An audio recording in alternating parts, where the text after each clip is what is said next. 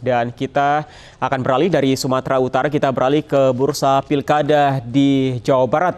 Kita ke Bandung, Jawa Barat, ada rekan kami di sana, Tifal Solesa. Tifal, ada informasi apa terkait Pilkada Jawa Barat hari ini? Tifal.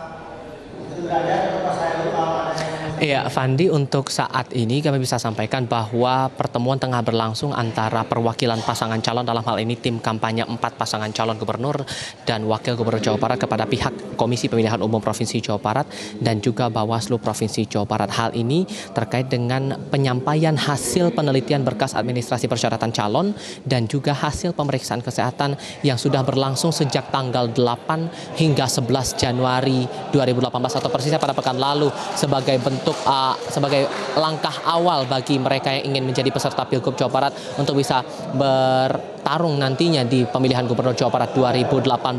Kalau kita, kami bisa sampaikan untuk yang pertama terkait dengan hasil kesehatan atau hasil tes kesehatan yang dilakukan oleh KPU bersama dengan RSHS dan juga sejumlah lembaga terkait di Rumah Sakit Hasan Sadikin Bandung pada 11 Januari lalu disebutkan bahwa hasil yang diterima oleh KP, uh, KPU Provinsi Jawa Barat pada pukul 10 pagi tadi dari tim dokter yang telah ditandatangani oleh empat tim empat orang dokter. Dalam hal ini dokter Eka Mulyana selaku ketua tim pelaksana tim uh, pemeriksa kesehatan lalu juga dokter Erwan Martono selaku pemeriksa jasmani lalu juga dokter Irfan Fahmi selaku pemeriksa rohani dan dokter Wuryanto Sugiri selaku uh, penguji untuk tes uh, anti atau tes bebas narkoba. Dipastikan bahwa seluruh peserta pilgub Jawa Barat baik dari uh, gubernur maupun juga wakil gubernur Jawa Barat sudah memenuhi syarat sebagai peserta pemilihan gubernur Jawa Barat dari aspek kesehatan.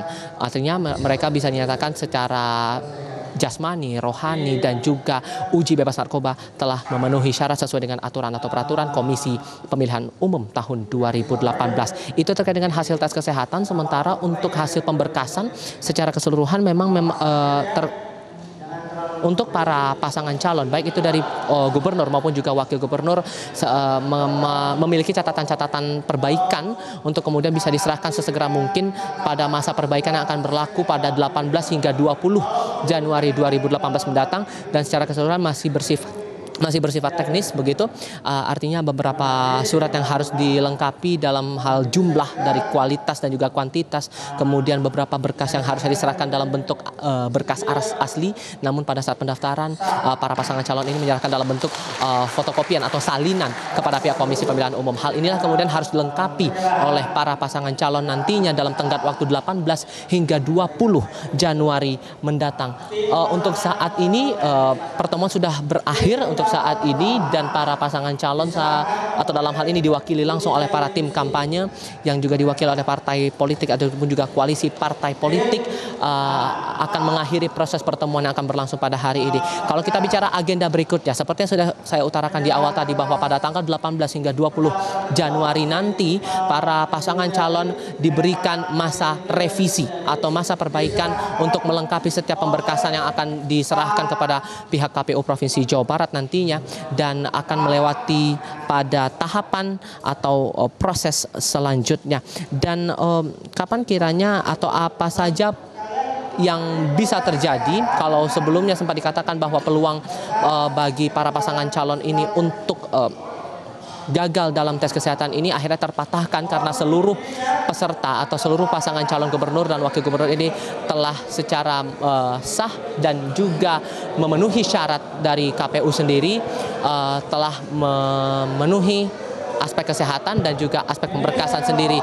Kita lihat seperti apa proses yang akan berlangsung nanti. Untuk sementara demikian, Fandi. Iya. Tifal, kita tahu uh, pasangan calon ini ada beberapa yang juga memiliki uh, pendukung fanatik begitu dalam setiap tahap termasuk tahap hari ini yaitu pemeriksaan kesehatan apakah para hmm. pendukung juga datang dan memenuhi KPUD Jawa Barat atau ada imbauan khusus untuk tidak datang ke KPUD atau bagaimana di sana?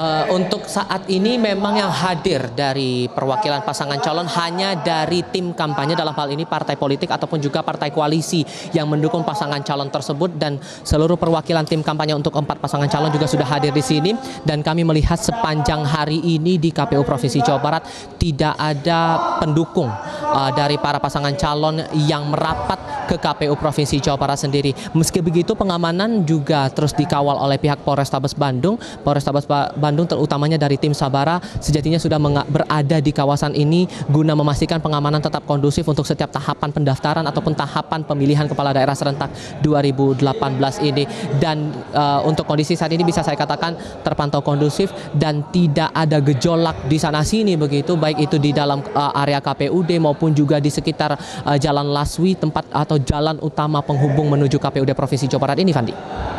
Yang paling penting kita harapkan tetap berjalan kondusif hingga berakhirnya Pilkada 2018 mendatang. Terima kasih Tifal Solesa melaporkan langsung dari KPUD Jawa Barat.